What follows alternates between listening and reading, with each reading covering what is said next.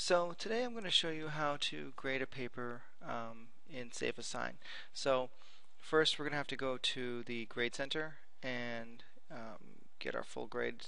Now we're going to go over, notice we have a test paper that needs grading and when I hover over it I get this drop down menu here and I click on it for more options and I'm going to choose the dates attempt. Okay, This will bring up my report okay, where I can see that it matches 100% of a paper because I just grabbed it right off the internet. And um, I can see my report. But what I want to really do is I want to look at the file and I want to submit information back to the person. So if I click file here it's going to download. Okay. So I have my paper and it's opened up in Word. And now what I'm going to do is I'm going to go to the review tab now, the Review tab allows me to do certain things. I can uh, track changes that I make to it, the paper. I can, which is one of the things I'm going to show you. And the other thing that I'm going to show you is inking. Okay, and inking allows you to actually write on the paper. So we'll start with um, tracking changes.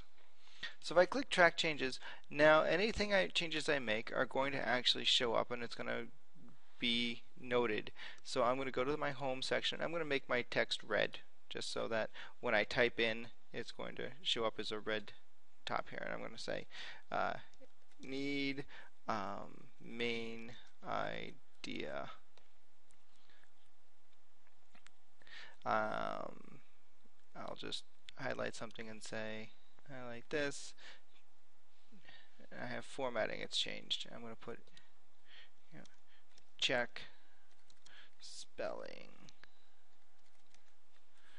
So I have my information and I'm going to now put in um, final uh, information here. Um, and I could you know go on and take more information there. So that's how we do track changes. And notice it's underlined it and giving if there's formatting that's been done. Um, now the other thing is inking. And I'm going to click on this. And what it's going to I'm going to change the color to red because I like red. It shows up better. And it just allows me to just write on the paper as if you were uh, doing it with a pen and pencil okay? I can make any colors I want. I can highlight I can erase uh, I can select an object and you know I can circle information. And so when I'm done those changes will be saved. And so what I would suggest doing is doing a save as just so it's been they have a, a separate type separate paper five minute primer corrected. Okay and save it to your desktop.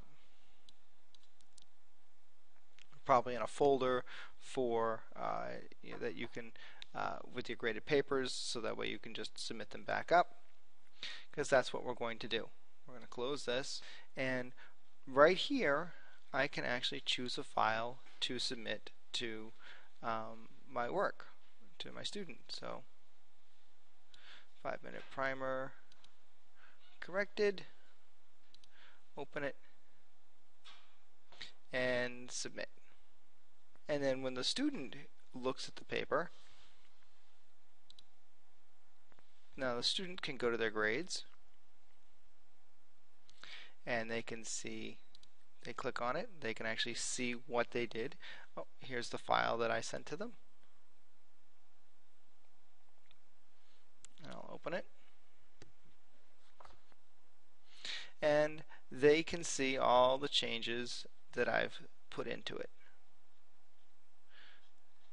So their paper now has the exact same pieces of information that I just sent to them. So that's how you can use um, Word to make edits to the student's paper and then they have to then um, go, they have their own version that they can fix. So